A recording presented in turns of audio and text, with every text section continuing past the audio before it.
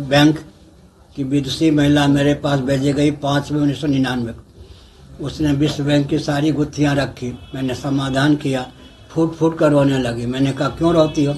उसने कहा कि अर्थशास्त्र का जो ज्ञान आपको प्राप्त है, भगवत कृपा से, इस ज्ञान से लाभ उठा करके भारत आर्थिक दृष्टि से भी सबसे उन्नत देश क्यों नहीं होता? इसलिए मैं रो रही तो कोई हमको कहे कि राजनीति नहीं जानते, अर्थशास्त्र नहीं जानते, या देश का चलाना कैसा है, ये नहीं जानते, बुद्धू बना के रख देंगे, वो नहीं हो सकता। हम्म? या वो ताली बजाते रहेंगे, वो भी नहीं हो सकता। ठीक है। चला। तो उनके पद की गरिमा के अनुकूल नहीं है। समझ गए?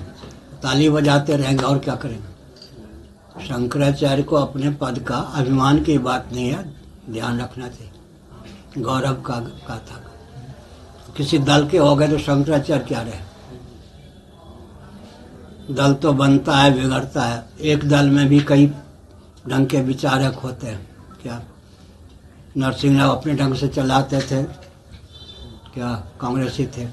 आजकल के कांग्रेसी राहुल यादव अपने ढंग से चलते हैं। एक दल में भी तो अंतर पड़ता नहीं विचार का आ गया।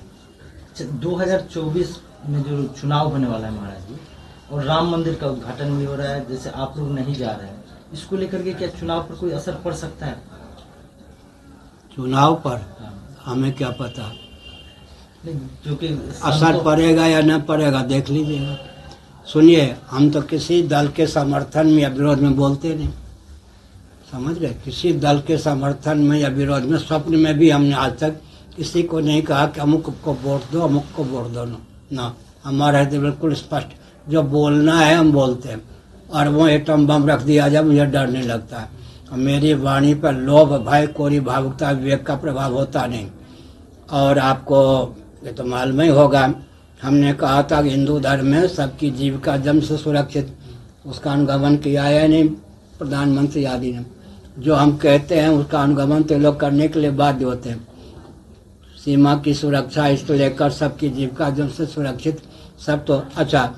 गाय को लेकर जो हमने कहा, अब गाय को चारा देने लग गई या नहीं? एक और कहा था, गो रक्षा गुंडे। एक और कहा, गो माता। अब गाय पाल करके गाय को चारा देने लग गई या नहीं? अनुगमन भी करते हैं और दबाने का प्रयास भी करते हैं। यही नेताओं का स्वरूप क्या है? अनुगमन भी करते हैं, दबाने का प्रयास भी करते हैं। तीन सौ सत्तर धारा निरस्त कैसे हुई? हमारे यहाँ से सबसे पहले आवाज़ आई थी तीन सौ सत्तर धारा निरस्त करने की आवाज़ कहाँ से आई? थी हिंदू राष्ट्र की बात कहाँ से चली? आगे। नमस्कार, मैं हूँ मानक गुप्ता। अगर आपको हमारा ये वीडियो पसंद आया हो तो इसे लाइक और शेयर ज़रूर करें। और हाँ हमें सब्सक्राइब और फॉलो करना ना भूलें। ताकि आप देश और दुनिया की कोई खबर मिस ना करें। तो जुड़े रहिए हमारे साथ और देखते रहिए न्यूज़ 24